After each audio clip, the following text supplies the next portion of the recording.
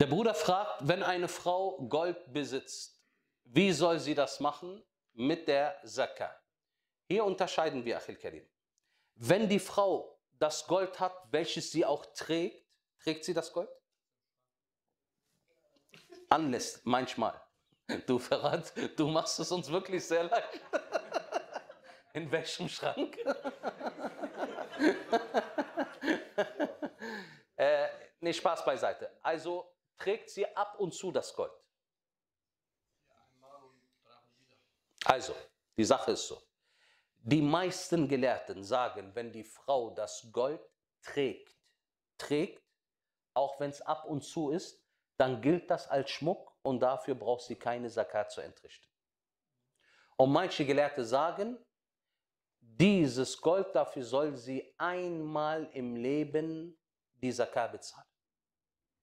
Okay? Einmal im Leben. Wie soll das dann machen? Man nimmt den Grammwert und multipliziert das mit dem Preis.